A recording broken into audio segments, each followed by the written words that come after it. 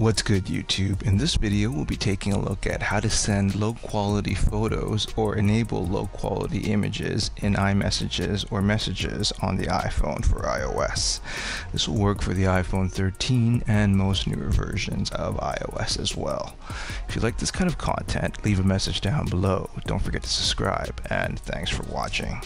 So being able to send low quality photos has been made a lot easier on the iPhone over the years and you can actually enable it by default if you're pulling photos from your gallery to send in messages. This is very helpful if you want to save on some data or save on some of your other costs that are associated with sending files over instant messaging. So what you want to do to enable low quality photos or lower file size photos are to go into your settings on your iPhone. From there you want to scroll down until you see messages. It's usually under phone and above FaceTime. You want to hit messages and then you want to scroll down in messages. And then what you want to look for is low quality image mode. And as you can see, when this is turned on, images will be sent with lower quality.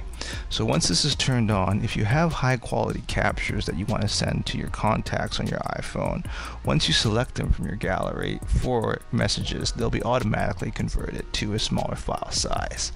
So there you have it everyone, just a quick and easy way of sending low quality images on your iPhone to save some data.